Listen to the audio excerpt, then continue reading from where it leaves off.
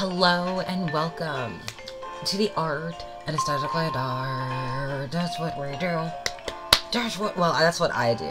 Hello and welcome, Denzians of the internet and fellow weird kids. Not you weirdos, there's a difference. You can be weird, but don't be a weirdo. Weirdos are dangerous, kids. Don't trust weirdos. Weird people, ah, but weirdos, uh-uh. Uh-uh, you, you need to run. You need the run. This is where I sit and I read stories and then I review them and you guys get to sit and watch me speed paint on something. Um, whether it's a picture or some swatches or just random stuff, who knows, but either way, like, you know, like, we're, we're doing that. I'm actually thinking about taking, like, some of my old artwork and applying this here as well, because I got all that. Anyway, um, today's story is The Temple by H.P. Lovecraft, or Howard Philip Lovecraft. Um, he was an early 1900 American author from Providence, Rhode Island. He was born August 20th, 1890, and he died March 15th, 1937. So he was like a Leo with a pinch of uh, Virgo. For people who believe in cusp, he'd be a Leo Virgo cusp. Lovecraft was well known for his weird and horror fiction that's influenced a great deal, if not all, the horror in some way or another. Uh, you know the movie Congo? That's actually an H.P. Lovecraft um, story. How about the how about the Alien series? You know how like there's this weird thing that's just stalking the crew and the peoples and doing horrible things and all this shit. Yeah, that's um that that's inspired by like the cosmological horror of uh Lovecraft, which is actually something that he is he's literally the father of Lovecraftian horror or cosmic horror, or if you want to sound really fancy, cosmological horror. Is a type of horror that leaves the reader with an unsettling feeling of being as insignificant as an ant compared to the strange and benevolent beings the author creates. And there's a chance your eyes will burn out if you read enough of it.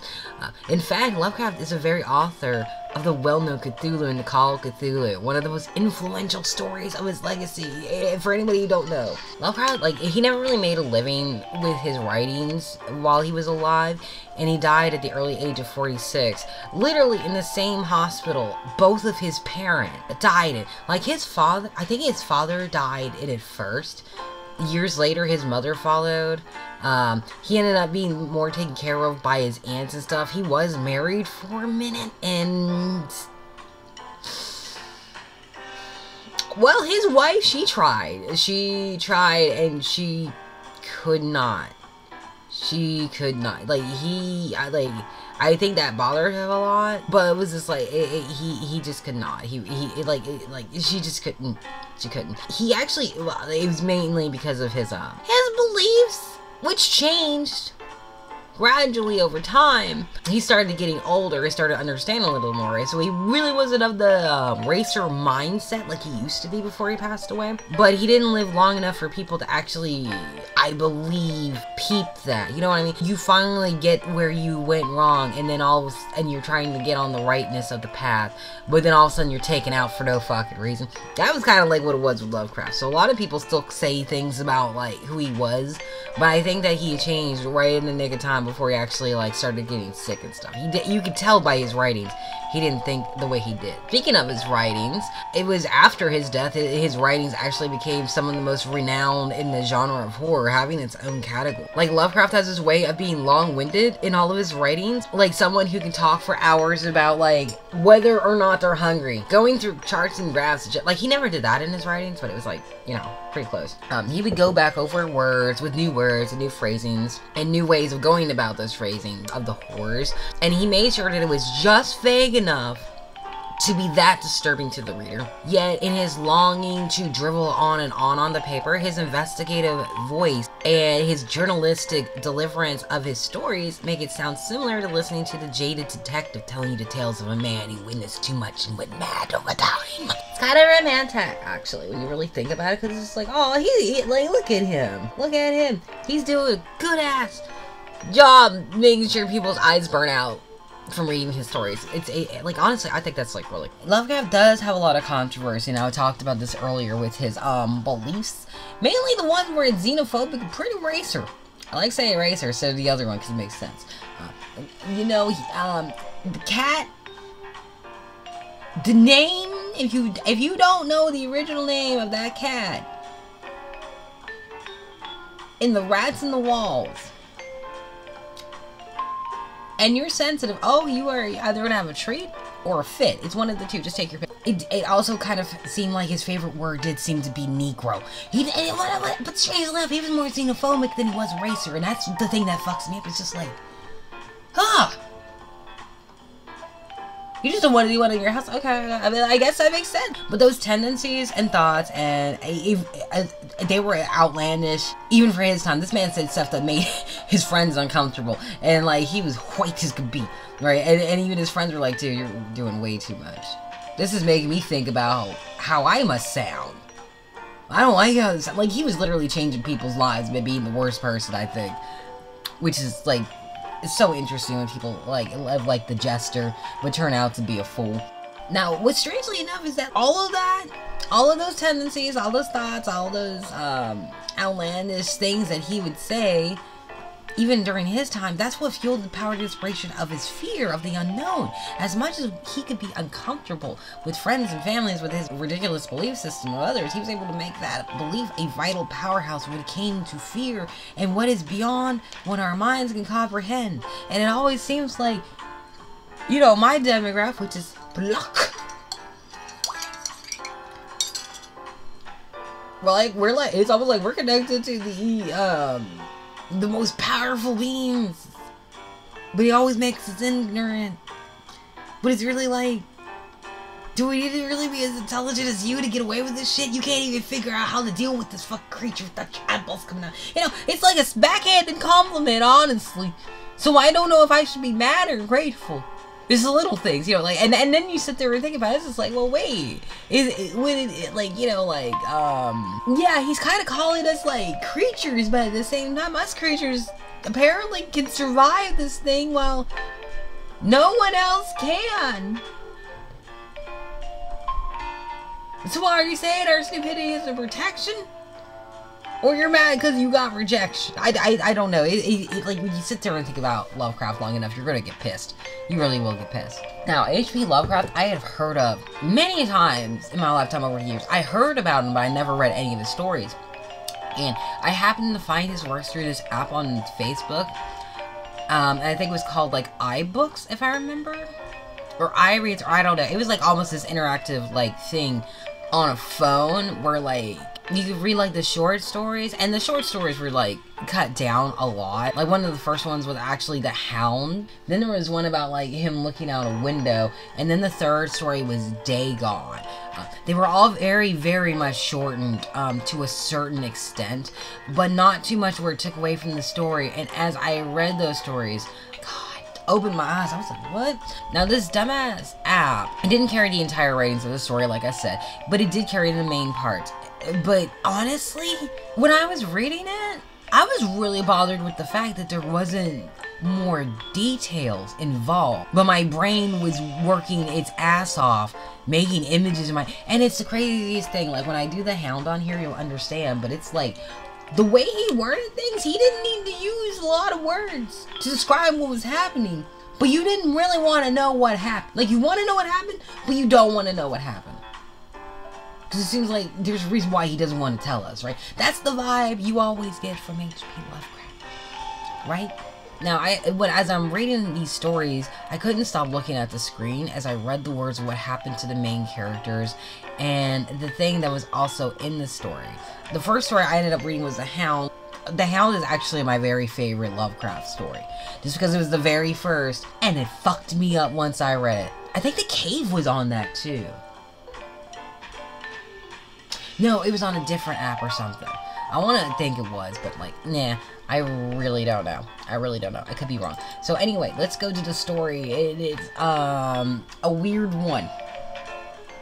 It's a weird one, and it actually took me a few reads to actually understand what the hell was happening in this story. Lovecraft wrote the story in 1920, probably around the time he and Frank Belknap, Belknap, Belknap Long were kicking it, and it was published in 1925 in the Pulp magazine. Weird Tales, which I think still runs to this day. But I just want to point out that he wrote this in 1920, but it wasn't published till 1925. Now I want you to think about it. This story actually took a pretty good long time to get done. Or maybe he just took his time publishing. He's just like, oh, I lost it. Here it is. Now, the story starts out telling the reader. Now, this is a manuscript found on the coast of the Yucatan, written by a Karl Heinrich Graf von Alterberg Einerstein. I know I fucked something there up. Like, I'm good at German, but I know I fucked that up. Who's a lieutenant commander of the Imperial Navy of Germany, and he was in charge of the U-29 submarine. I guess he wrote this out and decided to stash it into a bottle so someone could find it, and dated the manuscript for August 20th, 1917. Lovecraft's birthday! Happy birthday, Ryan! Now, for reference, this is the year prior to World War One ending. What a lot of people don't know about World War One is that the German people relied on a lot of, like, the history lesson, right? The German people relied on a lot of marine shipping, and during World War One, the British were blockading the German ports, and this caused a lot of problems for the Germans during the war. Their people were starving out because of the blockade, and worse, they had English prisoners, and the British made sure to let Germans know that if their soldiers were not fed well, the Germans would be getting some shit for it. Their soldiers, anyway, the German soldiers that they had as POWs. So not only were the German people starving, they also had to give better care to the soldiers of the government that is causing their people to starve.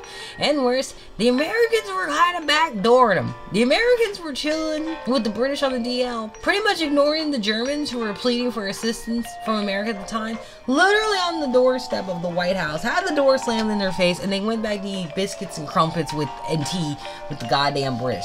Um, then there was the whole attack and the sinking of the Lufthansa, which was a warship that was decorated as a cruise ship. Uh, they traveled so far into German territory, turned off their lights, and just let the thing sink. Apparently, it got attacked by, uh, or allegedly, I should, I should say. They say that a German uh, U-boat attacked it, but you really wouldn't know. I think there was like a hundred and some odd uh, Americans, 104 or so Americans on that boat, and they died.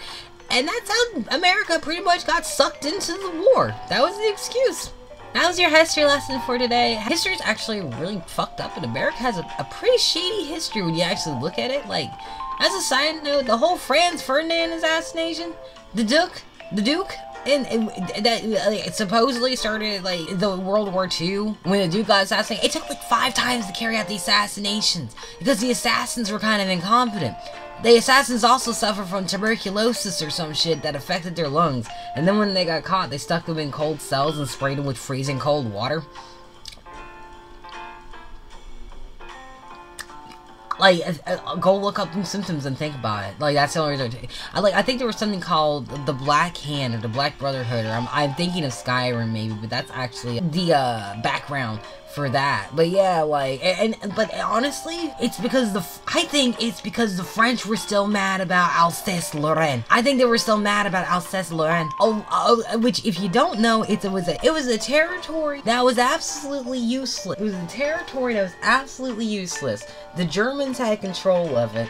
They and like when Franz Ferdinand was taken out, the Russians were sitting there being like, "Hey, France, um, the Germans just did this shit, right?" And France, who are nothing but psychos. Like, let's be clear, we all make fun of France because, like, we make fun of them, like, being, I guess, surrenderers or some shit. But did they ever lose a war? Th have they ever lost a fuck?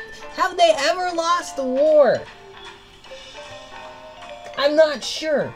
Well, I know as soon as the Russians came in there and told them that, they were ready to go. They were ready to go. Like the French, they don't like they may lose, but they don't give a damn. They're gonna like. I'm just saying, there's a whole bunch of conspiracies going on, but it's really weird how it all worked out to where like certain like countries benefited. But I'm not saying too much. You know, I'm an ignorant American. What, what, what do I know? Other than the empirical measurement system, what do I know? Everyone's sick of shit. What do I know as an American? I am American. Let's see. Anyway, back to the story. So Carl tells us that he's on a sub at 20 degrees latitude, 35 degrees longitude, which I googled, and I think it's the Pacific Ocean, where he's at the bottom of the sea. He's pretty much wants people to know what's going on, but you know, the guy's pretty, uh, the guy is, there's something wrong, Karl. He, he seems off. He, he just a especially when he starts bringing up his iron German wheel, with each word having the first letter capitalized like it's the beginning of a sentence or it's an article in quotations because, you know, like I'm quoting him, but I feel as though that doesn't illustrate enough what's wrong with Carl, I'm just saying. He talks about his iron German will in the beginning of this telling his horror story, right? Um, this is the guy who's pretty much the last man standing after pretty much losing his mind in the worst way ever, I would think anyway, which is pride. So Carl says that on the afternoon of June 18th, he torpedoed another sub and allowed the crew to get in boats and flee after they were attacked. He was actually pretty proud of it, and mind you, this guy is off the dude is not off his rocker. He, he okay, he, like, this is a story recounting from someone who's insane, so let's keep that in, in check. He was pretty proud of it and regrets that no he will see the film of the enemy's sub sinking. And when his sub surfaces, a certain body is found on the deck clinging to the railing. They determine that it's either an Italian or a Greek. Once again, this is H.P. Lovecraft. Don't be surprised by his choice of words in describing people because he's already dead. Carl describes the young crewman as rather handsome this young body seems to be, or it was, one more victim of an unjust war of aggression which the English pig dogs are waging upon the fatherland. Did I tell you all he was off his rocker? I, I sure did. I did tell you he was off his rocker, and he is. So they search the dude for his pocket treasures and find an ivory statue that looks like a young person with a laurel as a crown. I don't know what a laurel is. I think it's that wreath thing. I think it's a wreath thing. I they put it around horses when they're winners of races or something. I I I want to think a laurel is a wreath thing, but I don't feel like looking it up. But yeah, I don't know what a laurel is, but we'll just go with it. I'm not googling it. I don't care. A fellow officer by the name of Lieutenant Hines dying that the object is special and takes it from the crew for himself. He took it from the crew for himself. He took it from the crew for I want you to think about it. Why did he take it from someone else for himself? It's just the object. Take your time. As they throw the dead guy off the sub deck, there are two things that happen to make every crew member other than Carl shit the bed. Which honestly, I think it made Carl shit the bed, but he's trying, but he's insane, so we'll go with that. The first thing that happens is as the body is being moved, its eyes open and stare straight at the two guys by the name of Schmidt and Zimmer, and just stares at them in a mocking fashion, which I'm not even sure what that is. Then there's this older guy who is Muller, who is a, well, well, Carl calls him a Muller. And then there's the older eye, who's Muller, who Carl calls a superstitious Asap Alsatian swine who should have known better that says that he watched the body in the water. The body, according to Mueller, sank a little into the water before its limbs started moving into a swimming motion and moved south away from the sub. Carl and Hines didn't like this and the next day was even worse. Many of the crew were having bad, bad dreams and they were nervous suddenly. Carl says that they got the stupid, and then he made sure they were actually suffering with something before relieving them of their duties at that time, which is like, you sit there and hear this. You sit there and hear it, and you're just like, wait a minute. It sounds like they're almost fighting over this statue, and then the next day, everyone's suffering the consequences of the statue that just is there. And now, the people, the authorities, is being absolute dicks uh, going on, he also has the sub dive deeper into the water and says that this isn't where the calm ends for the crew. Which is like, okay, Thank you, tablet, but okay. Uh, a lot of the crew were actually getting sick, and they weren't able to perform their duties well, but Carl was determined to intercept this other boat, and uh, whatever it was. Uh, I believe it was a liner, and it was called the Darcia, according to the info he got from the spies in New York. Don't mind me, I'm trying to remember. I wrote this like two years ago, but I, this is the first time I've read it over in order to do this because I'm not writing this script again if I don't have to. But I, God, I must have edited this when I was drunk at some point. Oh my God. In the morning, they rose to the surface, and he claims that he could see the smoke from the battleship on the horizon. He also says that they're safe enough and far enough to dive and still be safe, but Carl and Kynes were more worried about Mueller.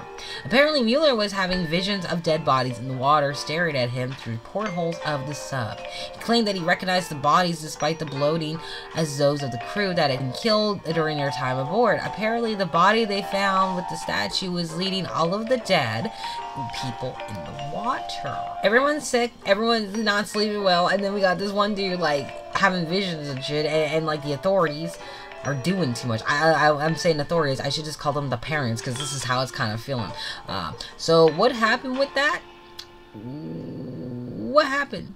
What happened? Well, because Mueller was saying this, Carl and Kynes have Mueller put in irons and whipped for speaking. Nobody agreed with this. At least not the crew, but Carl, Car- but Carl doesn't care because Carl is already insane. Do you understand what's happening here? At this point, this crew has a statue and it's making them do crazy shit. They're whipping a guy for seeing some craziness. Very insane things, right?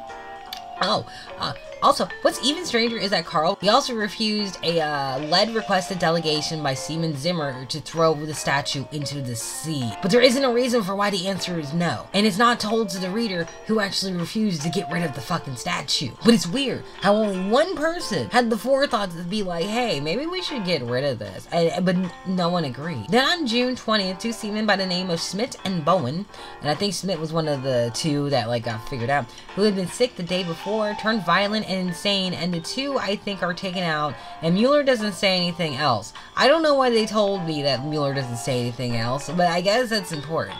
In the following week, they're still waiting on this liner that's supposed to pass through, and uh. Hmm, he still hasn't shown up yet. Isn't that interesting? Worse, all the crew is on edge. Zimmer and Mueller are missing. No one knows where they are. They just Zimmer and Mueller are missing. Zimmer and Mueller are missing. But Carl doesn't care because he didn't like Mueller anyway. He hated him even though he didn't say anything else after being beaten for speaking up. I guess Carl assumes that the two killed themselves, but no one witnessed them, or found their bodies, or actually anything. They're, they're completely disappeared was it cannibalism? See, like, and, and that's the thing. H.P. Lovecraft makes you think, well, maybe they cannibalized themselves instead of like going into the ocean to join the rest of the floating bodies. You, like, you would, like, you would almost want to think that. That that actually is the most logical answer in a scenario that's written by H.P. Lovecraft. And I'm not exaggerating with that. Cannibalism is absolutely an answer to any question you might have in H.P. Lovecraft, even though He's never written about it. But you want to think that because it's like, oh, well, maybe that happened because they were hungry or something. But it's like, no, it's even worse than that. You're thinking of the good ending. No, he only writes the bad ones. So now the crew is just staying silent. They also stay underwater, and the current is becoming weird to them, but no one does anything about it. No one says anything about it. Nobody's saying anything about it. No one's gonna say shit about this after what's been going on, I'm telling you. Kynes is on edge and apparently annoyed enough to yell at these strange dolphins that are sort of surrounding the sub. And now the southbound current is pulling them somewhere unknown, which is just like, first of all, weren't you guys like looking for another sub? Weren't you guys somewhere very specific in the Pacific? Um, why are you guys letting the current drift you away? That's so weird. Like, why do you need to do that? Why do you need to do that? And, and they don't know where they're going. Pretty soon they understood that they missed the Darcia, but they were kind of happy about it, which is like, why? There's nobody. You, if you missed it, that means you might be lost. Is someone fucking with me right now? But now all the crew is just like, like all of the crew, they're just, they're just cool with it. But on June 28th, they go head northbound, but all the dolphins are still around them, uh, uh, which I got like honestly, I don't think they're allowed to go anywhere except the direction those dolphins want to go. So, and then there was an explosion in the engine room earlier in the morning, and when Kynes goes to find out what happened, he finds two men, Ribe and Schneider, dead, and the fuel tank and all machinery basically destroyed in the explosion. But he still can't find Mueller and, and Zimmer, but okay. So now the situation is even worse. And even though they have enough air and food, they are still stuck where they're at, and they can't exactly leave without dying from either drowning or the pressure from the ocean depths.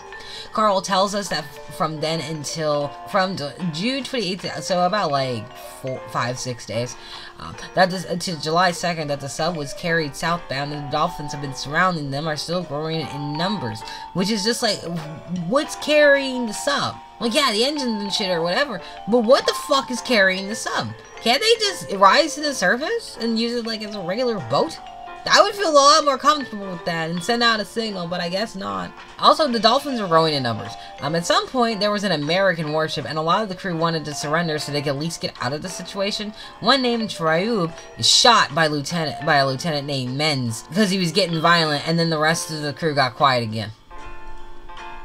Who fuck is Menz? I don't know. But if you can't tell so far in the story um, who's cursed and who isn't, you so the next afternoon, they see a bunch of birds coming from the south and the ocean is acting up.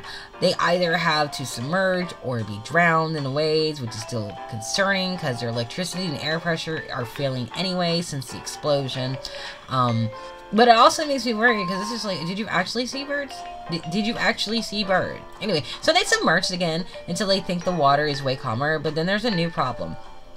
The sub isn't capable of rising back up to the surface. And they were pretty much stuck, and the crew were freaking out about the statue again. But they stop when one of the officers shows a pistol. I don't know who, but it's very clear at this point that the higher ups are more affected by the statue than the crew now. Like they recognize that shit that has been wrong since the statue came on the sub, but the officers aren't listening and are definitely willing to shoot one of their own to maintain order. Carl and Kynes would sleep on different shifts, and it was on Carl's shift that a mutiny by the crew breaks out. Sure it did. Sure, of course it would be while Kynes, well, not Kynes, while Carl is up that a, I suppose a mutiny started. He like he just decides anyone's gonna and like you'll see, you'll see. The crew was pretty much sick of their bullshit. But mind you, there's only six crewmen left, and they're all screaming about the statue and the dead bodies and how it wasn't cool that they weren't didn't surrender to the American warship. So Carl just shoots all of them and makes sure none of them are alive. That includes Lieutenant Menz or not, but he's not mentioned after that, so I guess so. They end up throwing the bodies of the crew through the double latch hatches, and Kynes becomes an alcoholic, which is fair. Now, throughout the story, Carl is continually talking down on everyone else's heritage and ethnicity. He even refers to Kynes, his most loyal comrade, as a womanish Rhinelander, who is soft, even though Kynes and most of the crew were German descent, strangely enough. Carl seems like he has a problem with everybody who isn't him, but it's apparent that Carl is more, like, Carl is the problem, he keeps asking people what's wrong, and then becomes the problem again. It's very clear that, like, he's affected by the statue way more than he knows or even realizes, but I don't think he's gonna get out of it. And, and like, and spoilers, he doesn't. Well, like, well, he does get out of it. Anyway, the two decide, or rather Carl decides, to stay alive in the sub as long as possible. They're still moving southbound and the dolphins are still surrounding them. In fact, Carl notices that for two hours, one never goes to the surface for air. And this still doesn't weird him out or make him be like, maybe we should get rid of this. But no, he still wants to keep talking shit about the only other person alive with him who's praying over all the people they killed on their tour. Um, now, it's not August 19th, and they're still going south in the ocean with all these weird dolphins still surrounding them. And it's just like, you know, it would have been really helpful to be able to possibly fix you if you hadn't shot all the people, Carl. I'm just letting you know. But that's just me. As they keep going, Kynes is noticing that the rock formations have markings on them, but Carl brushes him off. But he also can't help but notice that Kynes is uncomfortable looking at the rocks and carve as if he knows something that he isn't telling the other. I wouldn't tell him shit either. He keeps shooting people. On August 12th at 3.15 p.m. specifically, Kynes is finally nuts. He runs to the library where Carl is and says that he is calling. He is calling. I hear him. We must go. Who Kynes is talking about isn't said in the story, but if you're familiar with Lovecraft, you know who it is. Like, you already know who it is. There's only one person who calls for you. Now, Kynes had the statue in hand. In fact, Kynes has had the statue this entire fucking time. If you remember correctly, he took his crew members deciding that it was special and that he deserved it. He's had this this entire time. He has had the statue the entire time. Kynes has had the device of mass insanity this entire time. Literally, none of this would have happened if Kynes had thrown had thrown the fucking statue in the water. But whatever. Now, at first, Carl tried to call Kynes, but Kynes is a servant. Like, now Kynes had the statue in hand. And he began to drag Carl towards the hatch. And then Carl was like, whoa, whoa, whoa, whoa, whoa, whoa, whoa, whoa, whoa, wait. What are you doing? We're going to the hatch. What do you mean we're going to the hatch? We're going to the hatch. What do you mean, Carl, we're going to that? What do you mean, Kynes? Kynes, like, what do you mean we're going to, like, Carl, like, you don't understand. We must go to that. We must go. He's calling. And then Carl realizes that Kynes wants them to go into the ocean. And he's just like, what? Like, at first, Carl tried to call Kynes, but Kynes is determined to go out, saying that it's better to go mad and seek the god's mercy than stay defiant and face his wrath. Which is like, which god? Like, where are you at? Like, where? Which god are you dealing with when you're, um, like, immortal dolphins dragging you southward to somewhere where you know you ain't supposed to be? It's just like whatever. Um, eventually, Kynes just decides he's gonna go on his own. He'd rather go. He'd rather go outside. But strangely, Carl asks Kynes for the statue, which is like, what do you want the statue for?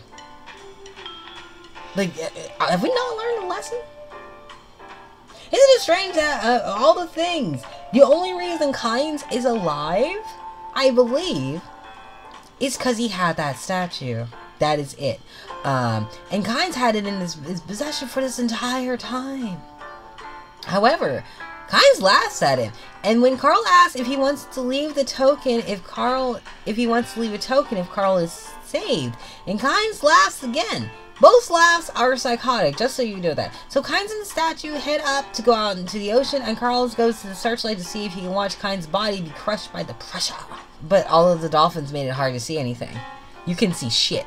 So at some point, Karl is sad that he didn't take the statue and that he has no one to talk to since Kynes is gone now, as if he cared. The next day, he's using the searchlight to see where he is when he notices that the ocean floor dips far down, just ahead of where he's floating. He ends up in a place called a mythical Atlantis, as he says, as he observes all the ruined places and buildings in the city that's deep under the water. I wonder where this is. This is possibly the city of R'lyeh controlled by but we really don't know in the story from what we've been told. But we can definitely surmise that motherfucker gone too far. He should have gave the goddamn statue back. But after two hours the sub sits in a plaza where from one side Karl can see an outstretched underwater city that he's found including this large gold statue and that eventually he notices this temple that's made of this strange large rock that has been carved into. He's very much impressed by something that isn't German for once, and he goes into great detail about the beauty of the place and how unfamiliar everything is to a superior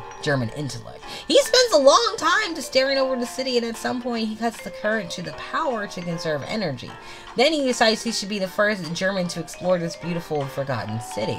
He eventually puts on a diving suit and goes to explore some of the routes, but later finds that his batteries are too low to do much of any searching after that. The searchlight is dying and, and he tries to use it just at the doorway of the temple, right? Just so he could see it. And then he eventually tries again, but he can barely see inside.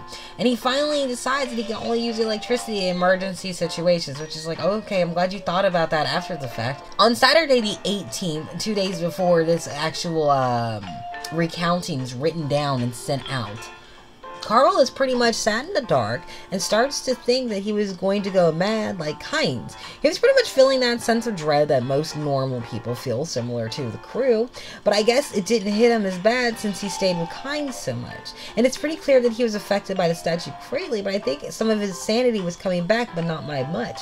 In fact, I would almost venture to say that maybe with Kynes holding it, that was the reason what happened to the crew. Because apparently everyone was shaking, everyone was freaking out, but when you really listen to it, nothing happens to Kynes. It's almost like the holder of the statue has control. But is the the holder in control or is the statue in control of them? And in that case, manipulating everybody? That's a really good question. He just ended up getting annoyed and had the light on, but fell asleep with the light on, and that killed the battery. Good job. He had matches, but used them up and was back in the darkness again, just waiting to die. He then realized that the strange god statue of the city was the same as a statue they took from that dead guy under deck before. This didn't scare him, but the revelation was definitely surprising to Karl. He'd taken some sedatives to help him sleep, but all he dreams about was the dead bodies of those he killed, looking into the porthole at him as he sleeps, including the young man who brought the statue to the sub to begin with. Just looking at him, being like, oh, I bet you could sleep it now, huh, motherfucker? Shit stuff. But whatever. Karl is a very proud man. Karl's a very proud man. But on his last entry, Karl talks about being not of sound mind when he first starts out by saying he wants to go back to the temple again. When he happens to notice this light coming from outside of the sub. And then he started to hear some kind of music from the outside of the sub, like people singing hymns or something. And as he looks out the window to see where the light is coming from, Karl finds it's from the temple itself. Which, you know what? Most people would be freaking out about that, but at this point in time, like, man, you know what? What choice do you have? You might as well go into it all crazy and shit. As he looks out the window to see where the light is coming from, Karl finds that it's from the temple itself, which is a whole red flag, but he's crazy, so it doesn't really matter. Well, he's saying he's he he's getting his sanity back. I don't know if I believe him, but deciding that he could no longer stop himself, he decides to sit up again and bids the reader goodbye as he resolves to go back in the temple. Karl says that he's a very proud man and his pride was affected in a way that was just way too weird. Way too much. He got a lot of people killed over that statue. And he didn't even realize that his pride doomed everyone. Like I said, this story made me have to read it a few times before I actually could really understand what was going on. But it's an interesting story from a perspective that I honestly don't relate to, but can appreciate and understand as crazy as the dude was. But it's very clear that he should have made Kynes throw the statue back in the water. The fact that, like, all of these people in this story suffered, but it's Kynes at the very end that gets Karl to actually be nice for once. He requested something. The only reason he didn't kill Karl is because Karl had the statue. And he wanted that statue. And it was just like, what the fuck? Makes one wonder. Anyway, that was The Temple by H.P. Lovecraft. I hope you enjoyed the tale. I'll be uploading this soon. You all have a good day. Hope you have a ha- hope you had a happy new year considering. And I'll talk to you later. Bye.